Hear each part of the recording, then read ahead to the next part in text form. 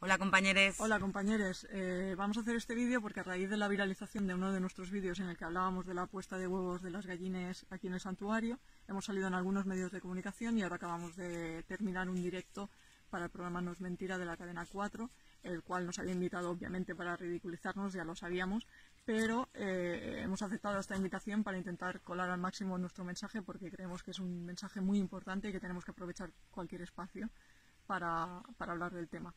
Eh, no nos ha gustado eh, nada una de las cosas que ha pasado en el directo y es que se ha banalizado sobre un tema muy importante que es el uso del lenguaje inclusivo. Nosotros hablamos con la E porque eh, sabemos que el género es mentira, es una construcción social que depende de qué sociedades, pues aquí hay un binomio, en otras sociedades hay tres géneros, cinco, etcétera. nosotros no creemos en el binomio específicamente hombre-mujer, y sabemos que eh, las personas humanas ah, son muy diversas y por tanto queremos incluirles a todos. Eh, esto también lo digo porque en unos cuantos de los comentarios que habéis hecho algunos de vosotros en el vídeo viral eh, se habla de este tema y se ridiculiza y se banaliza un tema que es muy serio por el cual hay muchas personas trans eh, y trans y no binarias que se suicidan y es un tema muy serio. Eh, otro de los temas que se tocan en los comentarios que hemos leído, porque tampoco tenemos mucho tiempo de leerlos todos, tenemos mucho curro aquí en el Santo, eh, pero bueno, sí, algunas risas nos hemos echado y, y con otras cosas no nos hemos reído porque no tienen puta gracia. Eh, entonces eh, se ha metido también con, nuestra estética, con los piercings, los tatuajes o, el no entrar en la estética cis heteropatriarcal.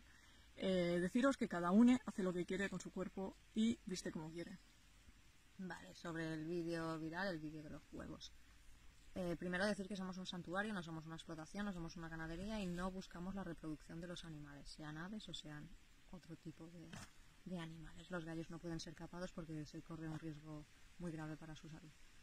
entonces, separarlos fue primero decisión también por eso, por no por buscar que no se reprodujeran y además porque vimos que para nosotras era mucho más violento separar a las gallinas de los huevos ya fecundados porque vimos muy traumático para ellas, o sea, los buscaban, los lloraban, los protegían y eso nos hizo ver que, los querían, querían que, nacieran sus, sus hijos.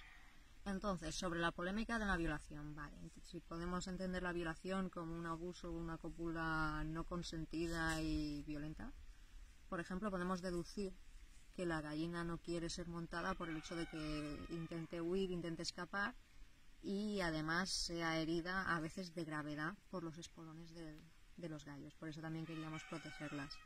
Para quien diga que es su forma natural de relacionarse, diremos que queda poco natural de los animales seleccionados genéticamente y que la, si no todas, la mayoría de las aves tienen sus épocas de, de reproducción y de cría. Y no es todo el año como sucede con las gallinas por, debido a esta selección. Los huevos son de las gallinas, son suyos, por eso los ponen ellas, es su menstruación. Comérselos es robárselos y financiar la esclavitud animal. Nosotros somos un colectivo antiespecista, transfeminista, libertario y ecologista que lucha por la liberación animal y del planeta, haciendo lo máximo posible. Unides construimos instalaciones, vallados seguros para poder rescatar animales que están en la esclavitud para darles la vida digna que realmente merecen. Difundimos, visualizamos la explotación animal para que la gente se dé cuenta de lo que está financiando. El especismo es la discriminación por especie. De ahí a que conviertan a animales en productos, recursos y propiedades que no necesitamos. Cada día matan a millones de animales y con ello destruyen el planeta todo lo que estáis viendo ahora mismo en huracanes, tsunamis, em, cuando queman muchos puntos del planeta, es el capitalismo que se mete ahí en medio para ganar dinero a costa del planeta y de los animales. Hay más del 70% de los campos que hay en el planeta que podrían destinarse a plantar comida para las humanas. En cambio, lo que se hace es plantar soja transgénica, etcétera, para los animales que luego nos comemos y encima se tira. Así que plantearos, informaros sobre el veganismo, que es la posición política que rechaza la esclavitud animal. En el programa un apunte, porque en el programa también se ha analizado sobre eh, ese posicionamiento, eh, cuando eh, no hay término intermedio. O eres vegane o financia la esclavitud animal. No, no puedes estar ahí a medias, no, no hay más. Cualquier duda, consulta que tengáis, sería, estaremos ahí para ayudaros. Todas podemos cambiar, revisarnos, salir de nuestra zona de confort, quitarnos privilegios para ayudar a las demás. Comer animales es fascista. Que vaya bien.